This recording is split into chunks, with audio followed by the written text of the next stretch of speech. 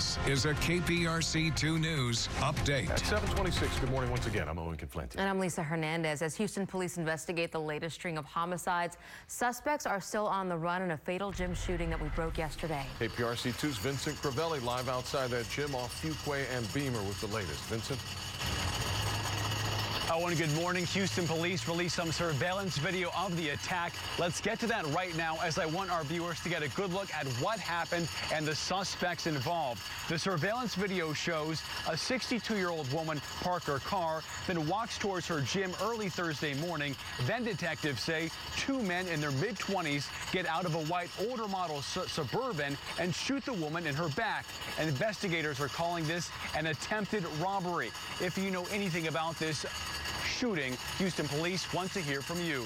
Reporting live in Southeast Houston, Vincent Crivelli, KPRC 2 News. Vincent, thank you. There are several Juneteenth events going on this weekend in honor of the new federal holiday. Tonight, one local group will bring together several artists for a musical performance. It's an orchestra led by a retired Texas Southern University orchestra director performing at Mecca's East End campus along South Jensen, and that kicks off at 8 o'clock. Another event actually happening tomorrow is a family-friendly festival taking place on Galveston Island. That event will be from 2 until 7 um, at Kermit Courville Field along 27th Street. And uh, speaking of, uh, our special coverage extends to the website. We've got way more stories of history of Juneteenth and how the community is celebrating the holiday. You just go to click2houston.com slash Juneteenth. Now let's get on over to Eric Braate for a check of our forecast. Hey, Lisa, we've got a big weekend coming up, obviously. Juneteenth, Father's Day. We're shaping up to see a really nice weekend. 81 degrees right now at the beach. 69 is the dew point. So humidity is down a touch from earlier this week.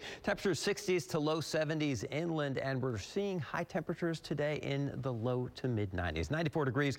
No rain in the forecast today. In fact, Saturday looks great too. Only a 30% chance for rain on Father's Day itself. Anna Hey, good morning. And a tow truck literally just towed a car out of your southbound lanes along the West Loop near I-10. So thumbs up there. And I just double checked and triple checked. Zero crashes to report in our Houston metro area. Galena Park, good morning to you. Heading to Hobby Airport. That's a 21 minute drive.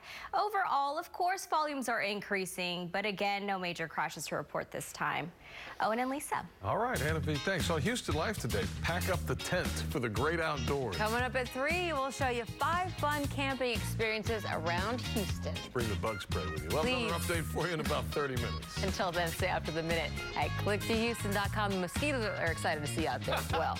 They're getting ready. The welcoming committee, right?